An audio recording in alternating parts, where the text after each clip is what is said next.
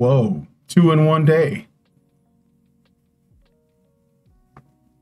Hi guys, welcome back to Honey Badger Arcade. Uh, got some breaking news. I know that other people have probably reported on this already, but I wanted to also get in on this. I think it's very important that we um, share this as often and as frequently and in, at as many places as possible. And I want to give my thoughts on this. So, uh, Mark Kern, also known as Grummz on X, has been doxxed and I have here where he talks about it on side scrollers. We're gonna watch this together. Um, I think that this is very serious, and uh, it shows you just how far our opponents are willing to go. Remember, we are in the midst of a cultural revolution. They will tell you that it's not happening. It is totally happening.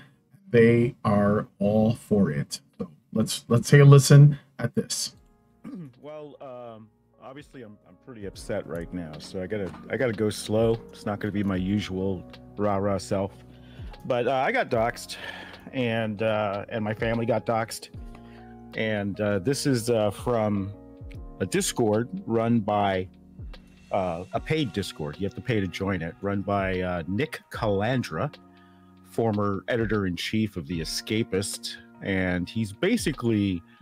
Um, you know, he's he he he calls himself a journalist, right? And I'm gonna pause it there. Uh, Nick Calandra, former editor in chief at The Escapist. I'm gonna ask, and I think you guys know this. Do not contact these people. Do not harass these people. This is what they thrive on. This is what powers them. This is what allows them to cash in on their victim bucks. And these guys are making money on this. They're gaining a tremendous amount of clout. They're getting cred. They're getting support from their backers. This is part of the plan. So just be aware of how dangerous things are, but do not, and I repeat, do not feed into this. Do not counterattack. Okay. Just look for legal counsel if you come across this yourself. If you have anything to offer to Grummz, um, you know, reach it to him on Twitter. And maybe you're maybe you're a lawyer, maybe you know someone, maybe you have like a means because this guy, these people, they're not seeing any consequences.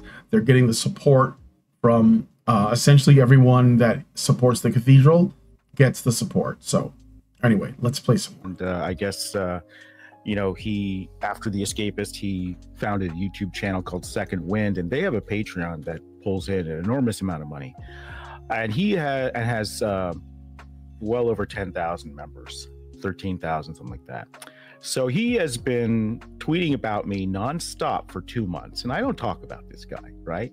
But he's got some kind of hate boner for me, and he's been tweeting about me every day or every other day, trying to go after me. Uh, so much so that, uh, you know, he got exposed for publishing false information from a sting operation that one of my supporters did. But he's been asking uh, people on his Discord to send him information about me, personal information and company information, both. And uh, and he, and they have, and thousands of his uh, supporters on Discord have been trying to find everything they can about me and and and posting it, and his moderators are encouraging it. Well, one of the one of the uh, supporters, uh, well, a couple of them ended up posting multiple addresses and uh, information about anybody with a name similar to mine, but they got some hits, including uh, address of my family. And um, that person then edited their own post to say, hey, this is Nick's secret. But he only did that. And yeah, Meadows the Panda. And he only did that after uh, that address was out there in the open for thousands of people on this Discord to see and he was not punished. The moderators did said nothing. In fact, they said this is the most fun they've had, and they openly disgusting. This is this is infuriating. Uh, they openly celebrated this. The mods encouraged it. Nick went on to encourage it. He said, "Hey, you know, he didn't ban this person. He didn't take any action. He said." Uh, hey, if you find this stuff, feel free to DM it to me. But yeah, any personal details or anything like that, don't post it here. So he wants that information. He and he's encouraging them to dig it up, and he wants it sent to him because he he knows it's a, it's a Discord violation, and he doesn't want to get banned from Discord. But he's weaponized his entire user base against me. This is thirteen thousand people, and he calls me a grifter, but he's earning fifty three fifty four thousand dollars a month attacking me, okay, from his Patreon, and he does nothing about it. He lets this go on. He lets all this information out there. And there are death threats against me okay? There are well documented bounties on my head $10,000 $20,000 $30,000 and these platforms do fucking nothing this stuff gets reported and they do nothing and journalists do it and they do nothing and there are no repercussions and this is wrong this is absolutely wrong, and I'm furious. It has put me in literal danger. It has put my family in literal danger. And there is, I, I have no idea how to report this. I have no idea how to report this to Discord or to YouTube, his YouTube channel, or to his Patreon, where he earns $54,000 a month coming after me. What the fuck?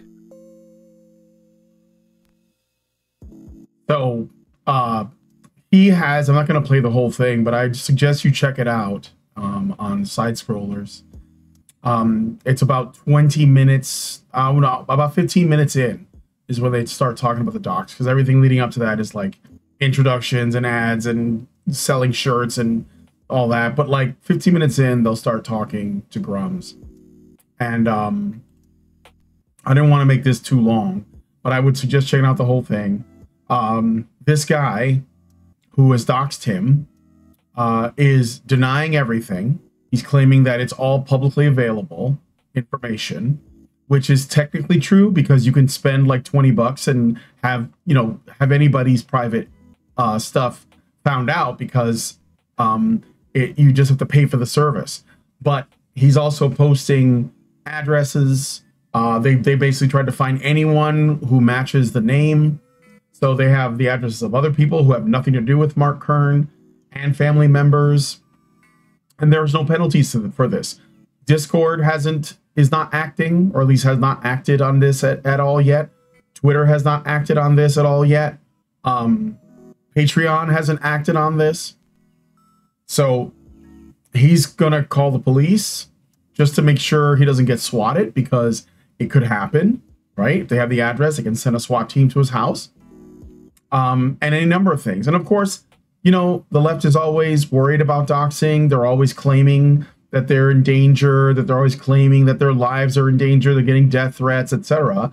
But as the as the iron law of woke projection shows, whatever they tell you they're you're doing to them is what they will do to you. Whatever they claim you are doing is what they are willing to do. They're always telling you what they're about when they try to tell you what you're about.